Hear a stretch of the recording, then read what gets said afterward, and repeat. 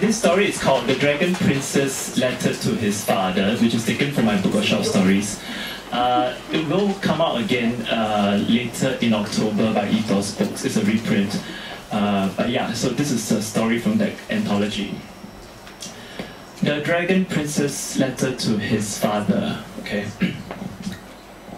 Hi, Dad. There's something very romantic about this human way of inserting a letter into a bottle, then flinging it out into the sea, in the hope that someone far away will find it and read its contents. I guess it is romantic because there's always the chance that nobody will. As such, I'm sending you my letter in this same primitive fashion.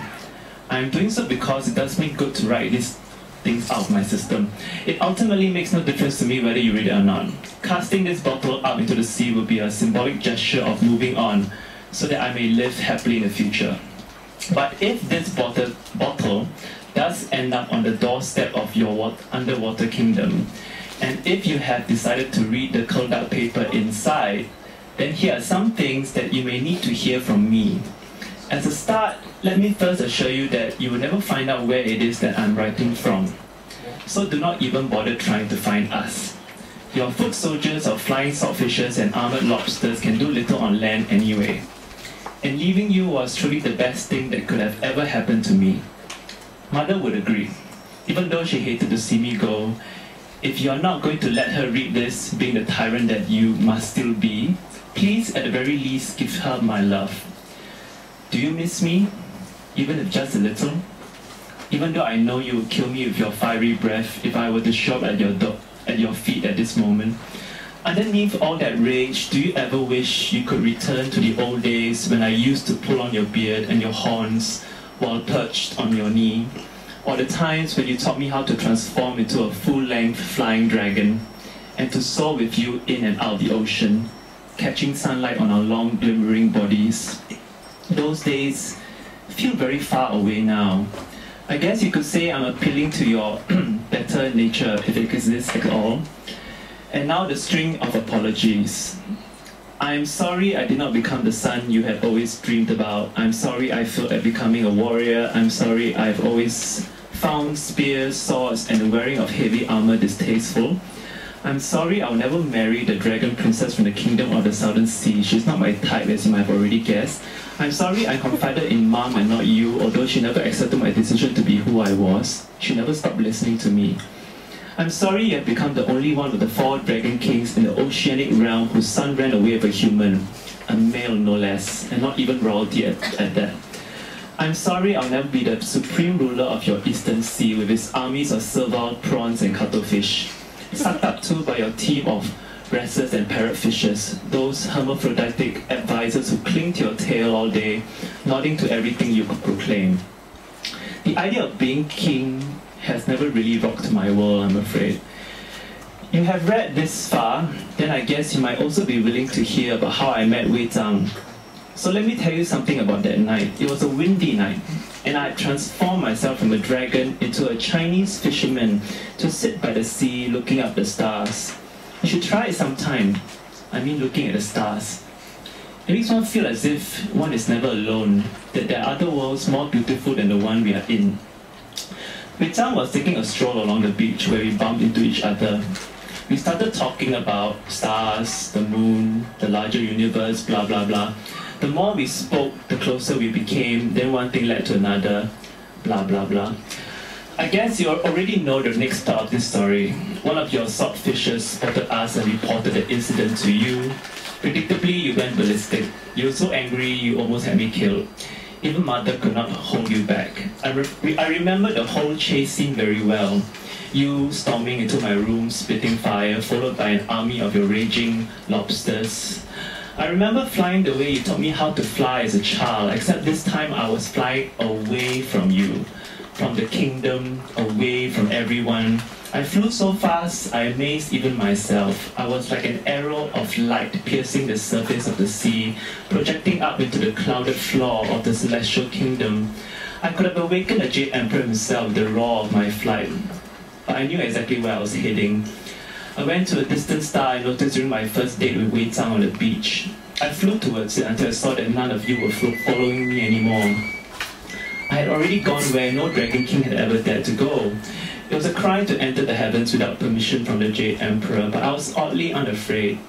I slowed down when I saw in the distance a lady in a flowing white veil and robe balancing on one hand a vase with a single swaying willow. It was the goddess of mercy that mom had told me about, a revered deity who helped those in need. Haloed by the moon, her face glowed with peace and compassion. Maybe if you saw her then, or even spoke to her, some of her qualities might rub off on you. When I prostrated myself at her feet, her eyes opened.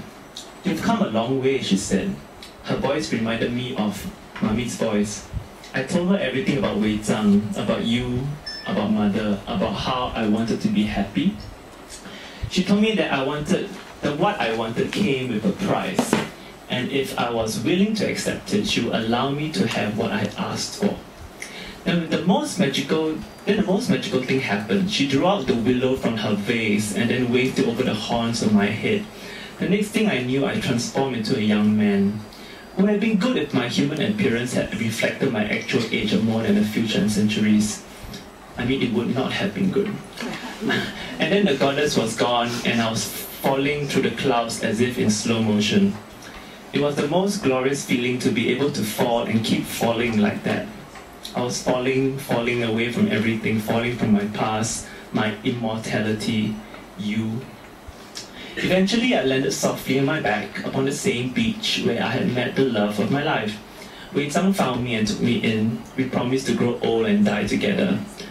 Wei Zhang and I, blah blah blah. And if our son stays strong enough, if our love, our son, and if our love stays strong enough, absolutely Freudian, we might even be reborn again and again as lovers for many lifetimes to come even if things manage not to work out in the end, as many humans would say, there's still other fish or prawns or lobsters or cuttlefish in the sea. I guess the most important thing I want to tell mom and you is that I am free. Free to love, free to get hurt, free to recover, free to laugh, free to weep, free to laugh again, and then free to die. Do you think eternity sounds better as an idea than as a reality? I live the, among the humans now in a city which looks like any other city on the surface of this small little planet. There are as many towns and cities as there are stars in the sky, I suspect. So if we are bored by one, we can always move to another. In this respect, I pity you, rooted to your kingdom every night and day for centuries without end. Perhaps you can do one thing, just one thing to alleviate your suffering it is suffering, you know. And I think deep inside yourself, you must agree. You could turn once again to the person you married all those light years ago and tell her that you have missed her and apologize for having been so engrossed in your duties as a king. Mother will be very grateful for sure, and imagine what it would be like for you two to make love again after all this time. If you have read this letter up to this point, haha, I hope that you have listened to what I've written with an open heart and an equally expansive mind. As you can see, both of you have raised me up to be an optimist.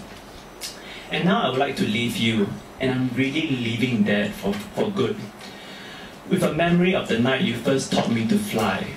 This memory of us dancing above the churning ocean surface, curling and uncurling through the night, firing our bodies like missiles in every possible direction, the cold air catching fire from our laughter, the stars winking all around us.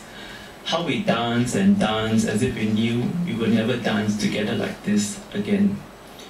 Your one and only, the ex-dragon prince of the Eastern Sea. Thank you.